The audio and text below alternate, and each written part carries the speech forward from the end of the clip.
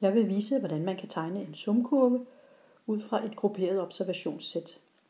Og helt konkret, så vil jeg kigge på aldersfordelingen på Læsø. I en tidligere video har vi opbygget en tabel med observationsintervaller og kumuleret frekvens. Og den kumulerede frekvens i det her tilfælde, hvor det er aldersfordelingen på Læsø, det handler om, ja, så betyder for eksempel 37,9, der står her, at 37,9 procent af befolkningen på Læsø er yngre end 50 år. Og når jeg skal tegne sumkurven, så skal jeg tegne den på grundlag af de højere intervalendepunkter og den kumulerede frekvens. Så jeg har indrettet første aksen, det er alderen, vores observationer, det er det vi observerer, det er alderen i år. Så jeg har sørget for at afsætte alle intervalendepunkterne hernede.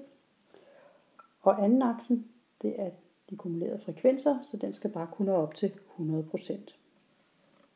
Så går jeg i gang med at tegne sumkurven. Så jeg starter med det første intervals højre endepunkt, det er 10, og den kumulerede frekvens 6,7% Så 10 og 6,7, det er cirka her. Og næste interval, højre endepunkt 20, og kumuleret frekvens 15,1. Det er cirka her. Og så har vi højre endepunkt 30 og den kumulerede frekvens 19. Det er cirka her. Og det fortsætter jeg med hele vejen ned. Så har jeg fået afsat alle støttepunkterne. Så mangler jeg bare det sidste støttepunkt, og det er der, hvor jeg starter. Altså min mindste observation er jo på 0 år, og øhm, der er jo ikke nogen observationer, der er mindre end 0, så derfor så må det allerførste punkt, det må være 0,0. Det har jeg her. Så har jeg støttepunkterne, og nu skal jeg forbinde dem med rette linjestykker. Jeg antager nemlig, at øhm, Øh, personerne fordeler sig nogenlunde ligeligt i aldersintervallerne. Sådan at hvis vi for eksempel kigger på intervallet her fra 50 år til 60 år, så er der nogenlunde lige mange, som er omkring 50 år, som omkring 60 år. De er ikke alle sammen nede i det ene hjørne.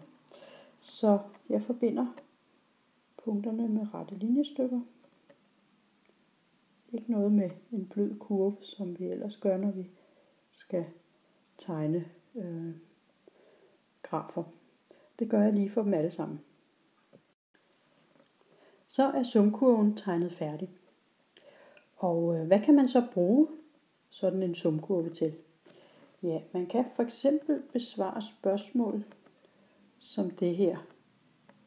Hvor mange procent af beboerne er mellem 25 og 65 år? Ja, så kan vi jo aflæse, hvor mange procent af beboerne, der er yngre end 25 år, ved at gå ud på 25 her på x-aksen, og så gå op og aflæse på sumkurven, hvor mange procent det er. Det er cirka 17 procent. Og så kan vi gøre det samme med 65 år, ud til 65 på x-aksen, og aflæse på sumkurven, hvor mange procent det er. Det er cirka 66 procent.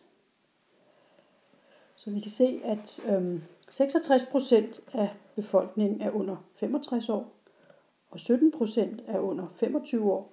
Jamen så må forskellen her, det må jo være, hvor mange procent der er mellem 25 og 65 år.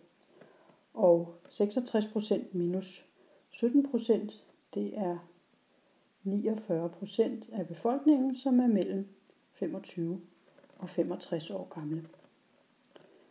Så det kan man blandt andet bruge en sumkurve til.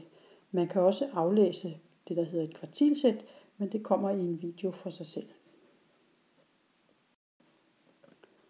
Man kan tegne sumkurven i hånden, sådan som jeg lige har vist, og man kan også bruge et værktøjsprogram til at tegne en sumkurve. Her har jeg fået GeoGebra til at tegne en sumkurve og også aflæse øh, de her fraktiler, som vi gjorde lige før. Men øh, man kan også bruge Inspire eller Excel eller mange andre værktøjer til det.